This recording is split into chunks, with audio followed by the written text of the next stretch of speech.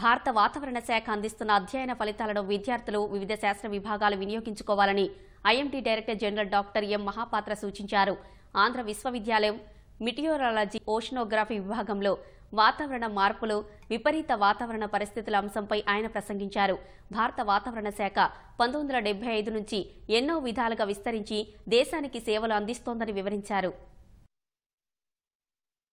India Meteorology Department has grown over the years from 1875, and especially in recent years, there has been a significant improvement with respect to the services provided by IMD, with the improvement in observational systems, improvement in numerical modeling, forecasting, early warning, and applications to various sectors. At the same time, India Meteorology Department, as an historical organization, has stored all the old data. You can find the observations even from 1743, or you can have the observations digitally from 1901, the basic observations and also the derived observations parameters or disastrous weather events parameters.